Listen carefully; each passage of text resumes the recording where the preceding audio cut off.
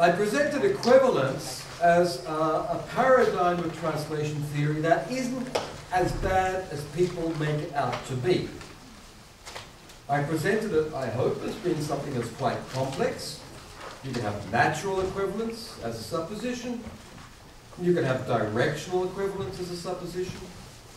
You can have obligatory equivalence, as we find in terminology, or equivalence can allow you a series of choices to make. It can be equivalent there, there, there, or there.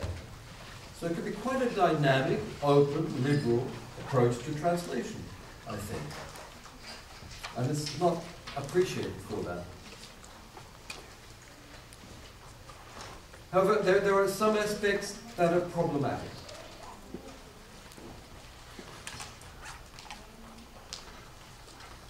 One is that it presupposes two separate sides that are big and strong, and uh, that, that equal value is possible.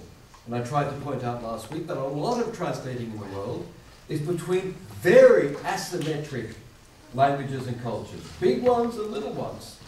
And a lot of the translating through history has been in order to develop the little ones, going down on the medieval language hierarchy, for example. That mode of thought, that extreme asymmetry between languages and cultures, wasn't really contemplated within the equivalent paradigm. And the other problem is that the source text is supposed to be a stable entity. Something's there, and therefore, if there's a change in the source text, there'll be a change in the translation. But a lot of source text, or the things we're working from these days, in the age of electronic communication, are not stable. Software programs, websites are evolving all the time, and it makes more sense to see translation as part of that evolving text uh, rather than equivalent to the value of a fixed anterior text. So I suggested that equivalence was suited to Western notions of nation, of big vernacular languages and cultures, and the printed fixed source text.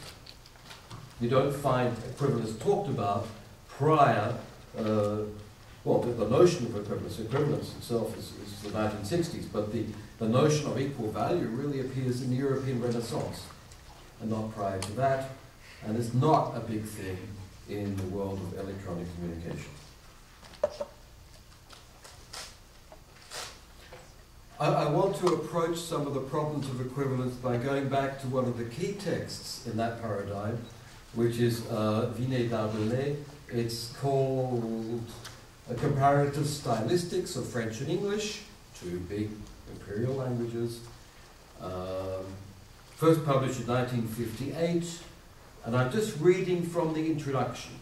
Okay, Vinay and Darbelnet were two French linguists here in the introduction to their book, which is going to compare French and English.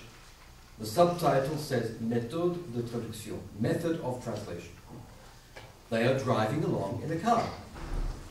One guy drives and notes all the street signs, and the other linguist writes down. And then they compare, because when they get to the border between upstate New York and Canada, they start to get bilingual street signs.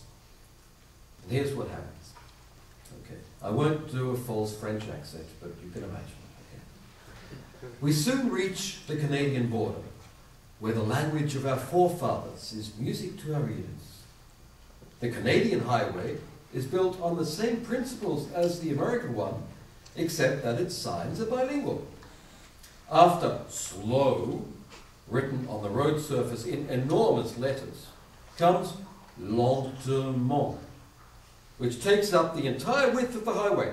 What an unwieldy adverb! A pity the French language never made an adverb just using the adjective long, L-E-N-T. But come to think of it, is lentement really the equivalent of slow?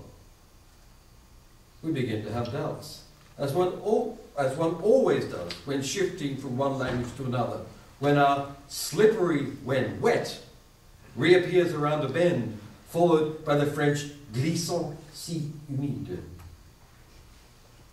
Whoa, as a Lone Ranger would say.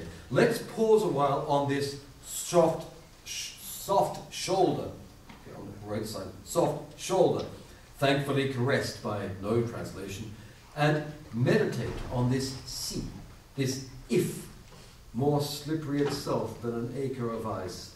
No monolingual speaker of French would ever have come straight out with that phrase. Nor would they have sprayed paint all over the road for the sake of a long adverb ending in mon. Here we reach a key point, a sort of turning lock between the two languages, but of course, parbleu.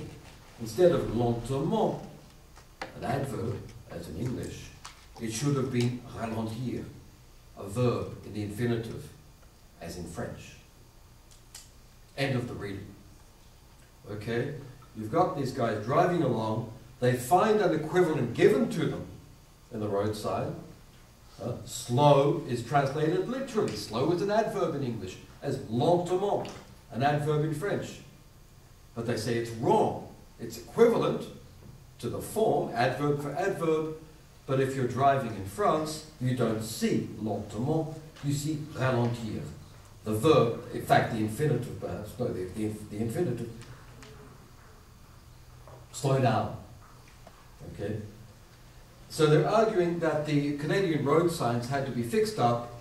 People should go to France and see what road signs are really used in the French language. Uh, you, you might appreciate if you're Canadian or had experience of Canada, the extent to, to which this is an, an imperialist relationship, an ex-colonial relationship, saying that oh, the only proper French is spoken in France and the Canadians can't really imitate it well. Okay. You can see the choice between two kinds of equivalence. Now, the problem for me is, I, am not used to driving on, on roads with a lot of ice, okay? I come from Australia. We don't have that sort of thing there. We have desert. Now, I'm, I'm interested about this uh, glissant humide, this slippery when wet. And the, the best translation for, for me would it be the one used in France or the one used in Canada or the United States? I don't care. Surely you can go out and see which is the best translation for reducing the number of accidents. Eh? The shorter, the better, I would suggest. Okay, not for linguistic reasons, not for imperialistic post-colonial reasons, but what's the function of the sign? The function of the sign is to have a cognitive effect on the driver to reduce the number of accidents. And you get statistics for this sort of thing. Lots of them.